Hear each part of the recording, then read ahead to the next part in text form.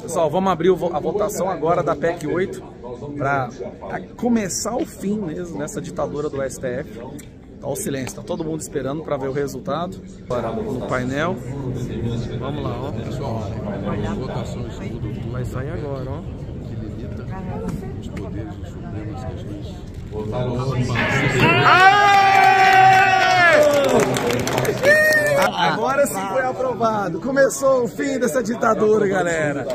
Agora foi aprovado começou. Gente, é só alegria. A gente falou que ia mudar isso e vamos mudar. É só início, tem muito mais. Tem que colocar mandato e alguns ainda tem impeachment. Ah, deixa eu falar aí que já fala. Ó, eu sou a vítima dessa decisão monocrática. Eu, tenho minhas, eu sou senador da República minhas redes sociais foram do Invasão no meu gabinete. Eu não vou falar daqui a pouquinho, vou entregar mais alguns podres.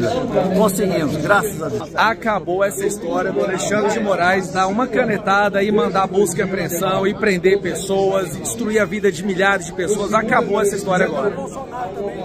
Isso é pelo Bolsonaro também. Por tudo que foi feito pelo Bolsonaro. Que na época ele era presidente, eles iam lá numa canetada, só um ministro uma canetada, tirava a decisão do presidente. Exatamente, bem lembrado. Né? Contra o presidente. Então é isso, vamos resgatar o mínimo de democracia, vamos resgatar o mínimo de Estado democrático de direito. E uma pessoa que vai dormir chateada hoje, porque não tem mais o poder de destruir a vida de ninguém, é o Alexandre de Moraes. Acabou essa história de decisão monocrática para destruir a nossa democracia, a nossa liberdade de expressão.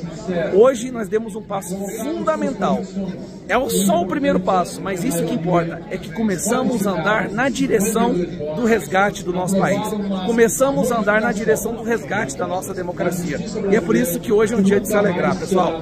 Começou, foi dado o primeiro passo. Decisão monocrática de Alexandre de Moraes não existirá mais no Brasil, o que significa o primeiro passo em direção a uma democracia saudável.